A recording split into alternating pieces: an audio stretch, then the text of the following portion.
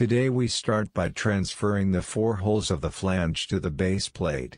The base plate is also made of PVC and has a side length of 200 mm each and a thickness of 12 mm.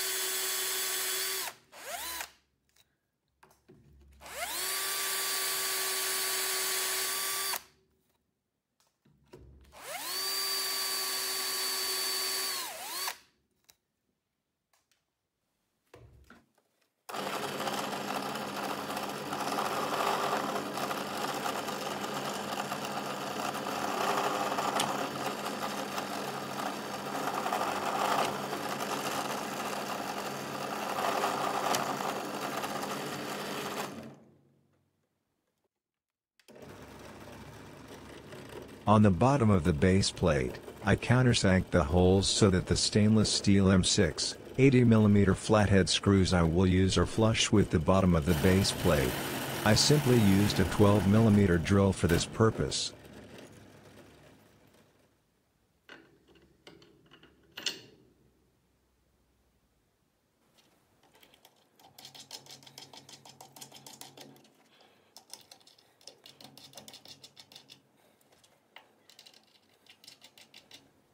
A thread locker is used to prevent the stainless steel nuts from loosening again after tightening.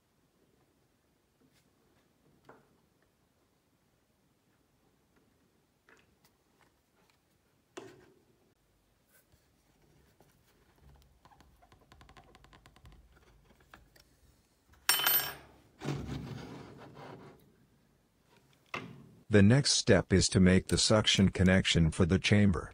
That requires this brass hose nozzle with a 1 quarter inch male thread. Since we only need the hose nozzle, it is cut off with a hacksaw.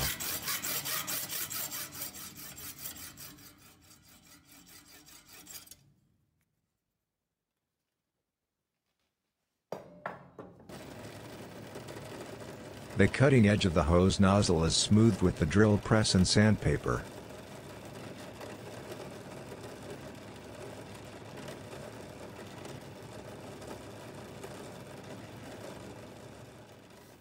Using a mini tube bender, a 200 mm long brass tube with an outer diameter of 5 mm and an inner diameter of 4 mm is bent.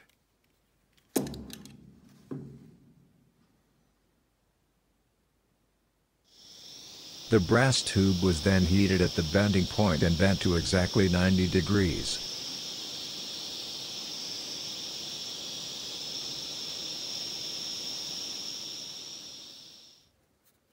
I use a mini pipe cutter to cut the bent brass tube to length.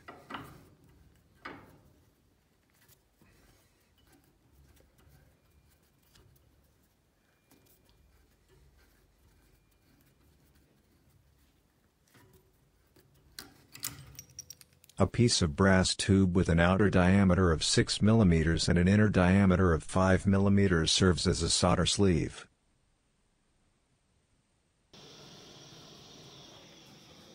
The three parts of the suction connection were then soldered together using soft solder.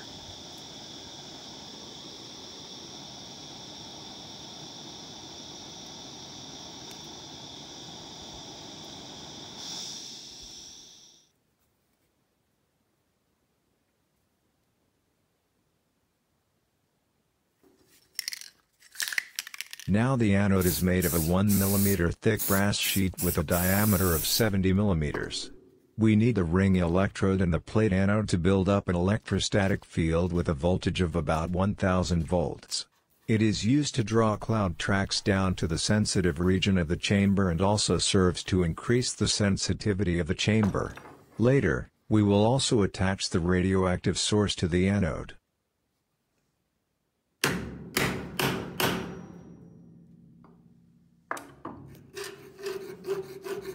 To cut out the disc a fret saw with a fine metal saw blade is recommended.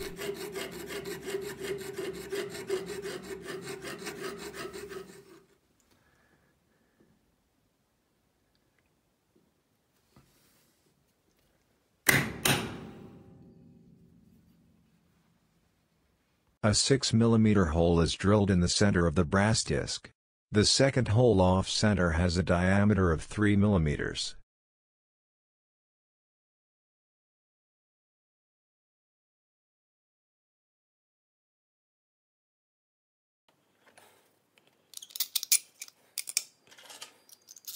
To sand the brass disc into a nice round shape, we use the same technique as for the two flange parts.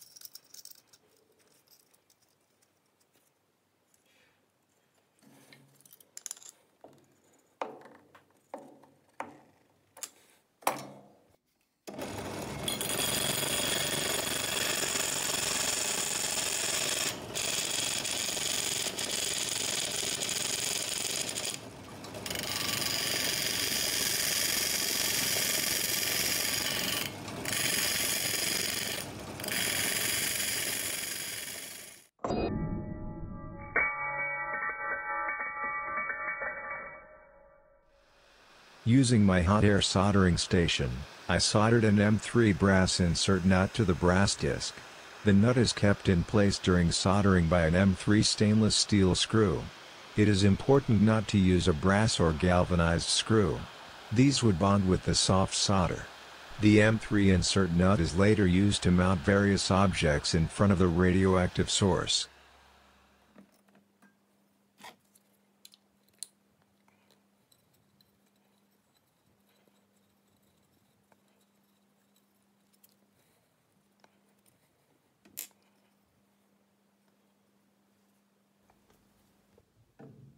Now it's time to work on the base plate again. I screwed in another 4M6 stainless steel nuts and fixed them with a thread locker. The distance from the top edge of the nut to the end of the screw should be 26 millimeters.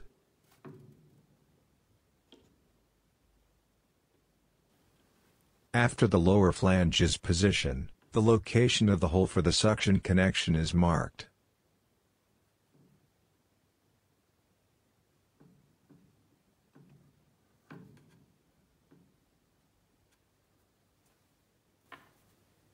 After drilling the hole for the suction connection, it is inserted and marked where it is to be cut.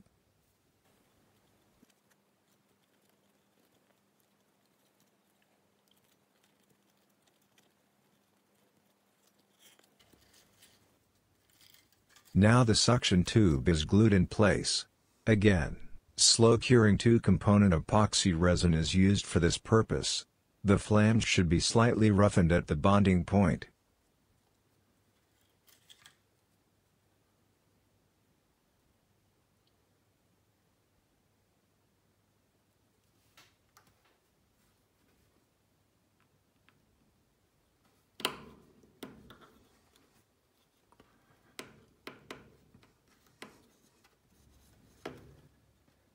Once the flange is positioned on the base plate again, the suction tube is aligned.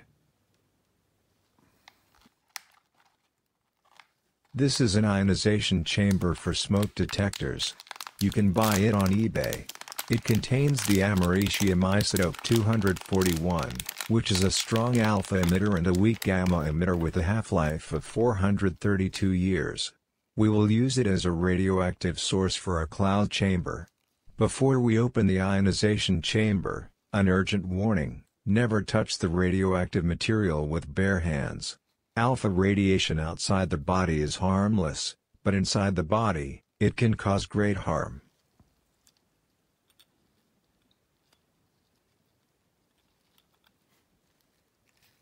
On this side, the americium isotope can be seen in the center.